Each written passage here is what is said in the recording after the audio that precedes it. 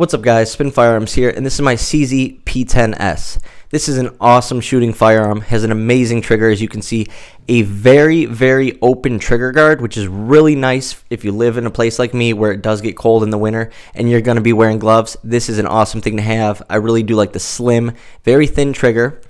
On top of that, you have these awesome memory pads right here. Very distinct, very good texturing.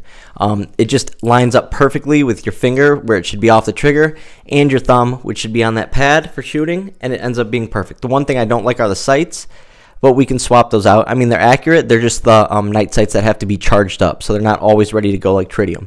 The finish is unbelievable. Um, the finish on CZs and Smith & Wessons are just unbelievable, and I, I definitely throw this in that category. It's different than Smith & Wesson, but it's almost like this shiny material, you know, finish that doesn't have any issues with scratches and stuff. It's actually pretty amazing because I actually dinged this gun on accident. I was like, oh my gosh, it's ruined. And then I look at it, nothing.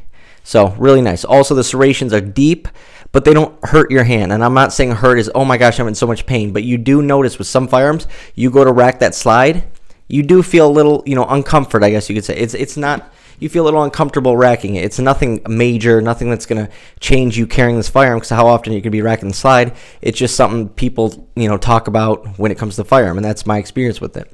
Smooth as can be to shoot, but what I do notice compared to a Glock 26, I like smaller, shorter slides on my firearms, and there's a reason. There is more weight being sent up. I know weight really does help with recoil, but the longer barrel allows that muzzle flip to be worse. With the shorter barrel, it's easier to control because look where your hands are. Like the closer your hands are going to be towards the end of your barrel, it's going to be easier to stop that lift. Now you could make the argument with weight and so on. But I did notice that the muzzle flip on this firearm is a little bit more than a Glock 26 and so on. But the recoil is actually very similar. And like I said, it's this is a perfect firearm for those people who like a longer barrel, longer slide, but a still a small frame. This is actually thinner than a Glock 26 having that small frame that's very easy to conceal still. Plus, you got capacity, 12 round mags. I'm guessing these are made by Mec-Gar because you can tell they are top notch quality. They look and feel like a Mec-Gar mag, so you know you're going to have zero issues with magazines when it comes to your CZs and Mec-Gars. Anyways, this is a great compromise for people who have a hard time concealing a longer grip but still want that longer barrel. Like I said, it's been 100% um, no malfunctions, no break-in period needed. This thing has just ran. And also, like I said, the texturing. This is a firearm that I would not put grips on because for some reason, just these little. I don't know why other companies don't do this.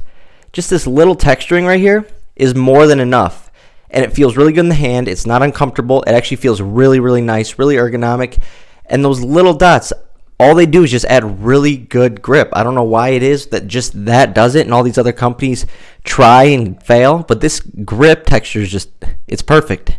And honestly, it fits your hammer. You can get those two fingers, a little of your pinky. You can go down here if you want, or you can go here um, and get a little of your pinky on. Either way, it's a great shooter. You don't need three fingers to shoot it. You can shoot literally with your pinky hanging off, and you're gonna shoot just as good. It's a great firearm. It runs smooth as can be. Um, I would trust this thing with my life, and I actually got my holster right here. This is a trigger guard holster from Blacksmith Tactical in black topo using an UltiClip. And this thing is just a perfect overall setup. I'll show you guys right here what it looks like. Very, very nice setup. Very small. Um, like I said, I do like shorter barrels and stuff, but this is fine. This is under that 4 inch. This is going to be enough to the point where you're still comfortably carrying all day long and not having issues. And like I said, you can trust the CZ with your life. I really like it. Um, really happy that I branched out and tried a CZ um, for myself to keep. Like I shot one at the range, and this is the, some guy offered, "Hey, do you want to shoot my gun?" I'm like, "Yeah, of course. I'd love to shoot that CZ. I, I haven't shot a lot of them." That's how I ended up with this. It was so smooth, but I had to get the subcompact model because that is me. Anyways, great firearm, very small, very concealable, very reliable. What more can you ask for from CZ?